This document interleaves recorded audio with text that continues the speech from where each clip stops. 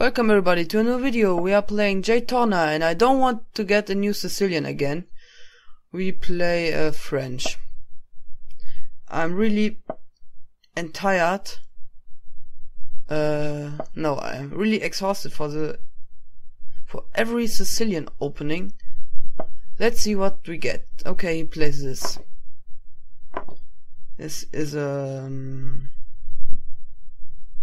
ah, I don't know the name. I'm not a player, really. Should be 397. I know some moves, but I don't know the exact moves. Let's see. The straight is normal. Bishop f3. Okay.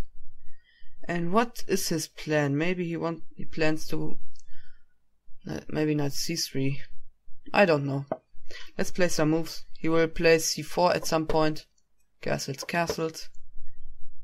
The sacrifice on h7 is not yes c4. The sacrifice on h7 is not possible because the bishop is on f3. Maybe plays yes bishop g5. I just want to mention it. h6.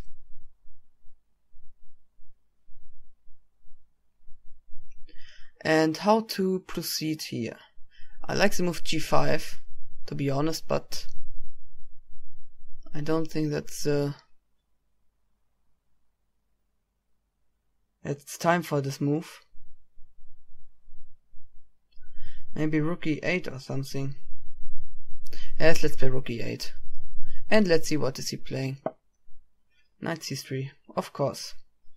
Ah, let's play g5. I don't know. g5, I play, I like to play, really. I like the moves, uh, g4, g5. They're just powering my position up, and I should have played the move before because my rook on e8 is, doesn't do, is not doing much here. Let's open up the position even further. The rook on e8 need to have some some reason why I played this here uh, on e to e8. I didn't need to play e5, but my rook on e8 was somehow somehow a bad move for me, and I just wanted to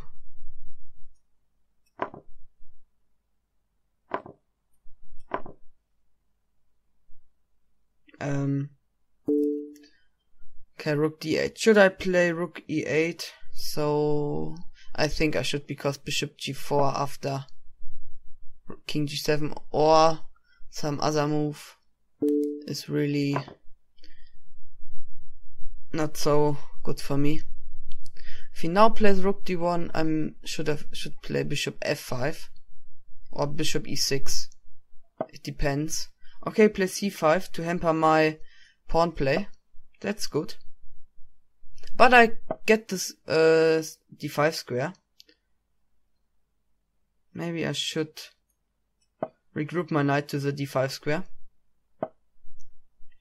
Okay, plays b4 to attack my c6 um, pawn structure.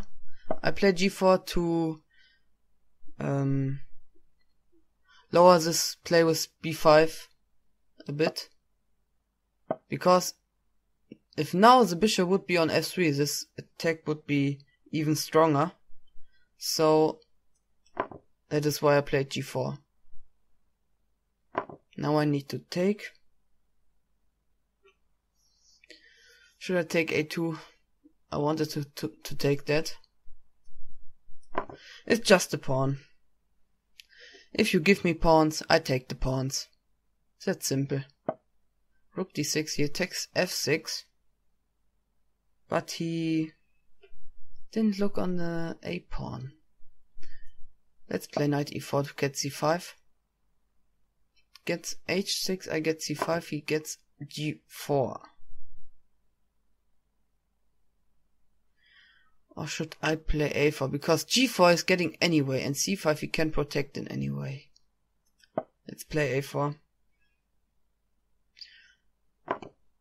So, now he takes. And now I will take.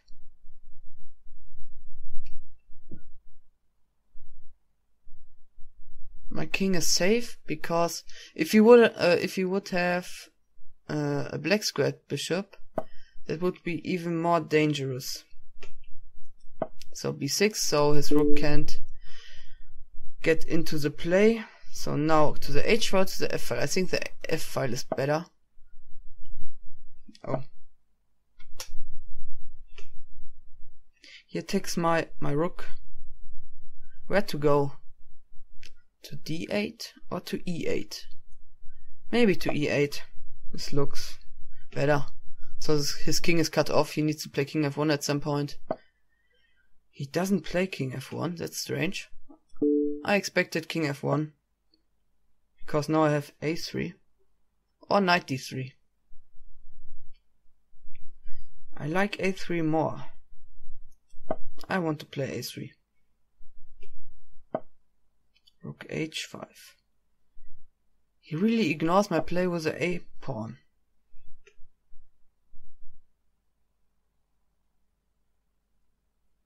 Now he has no knight f5 if he plays rook h8.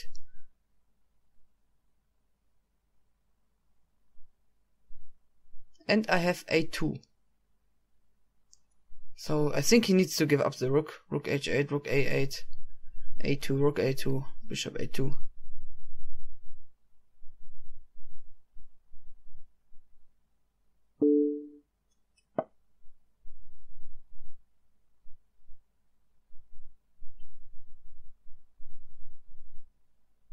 Doesn't matter really if I go to e7 or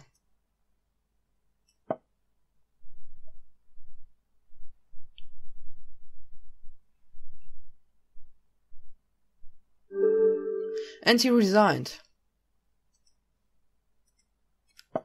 Alright, we didn't get a Sicilian in this, in this um, match.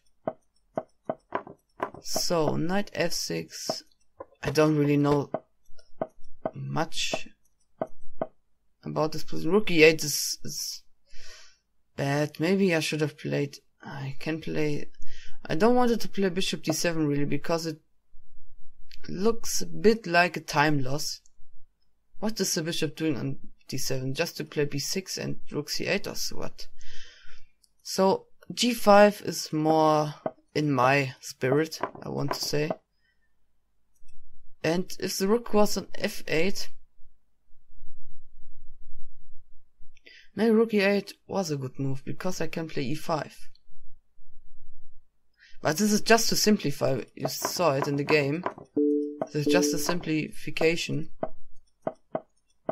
But he just sacrificed a pawn. So g4 so that b5 is not so strong. Then a5. I thought he plays a3 just. That's just simple. I don't know why he is giving up a pawn. Okay, he gets it back, but he gets it ba uh, bad back. This is really worse for him here. I think here he should have played knight b5 to attack the pawn. I don't know what I should have done here. Maybe I should have played here. Maybe I should have chased the rook first. And on rook h5, I think... Ah, wait a second. Where the rook goes? Here I have bishop e6. Oh, that's cool.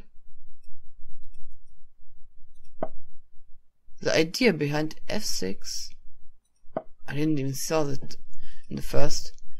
Just wanted to chase a rook. But the idea is that I can play the bishop back with a tempo. Oh no, that's... Oh, this does... This works. Okay. And the a-pawn is still there. So I can play a2 and promote. So after knight b5, f6, bishop f7, check, king g7, I think he needs to play rook a8, and like this he gets the pawn, but maybe I have some trick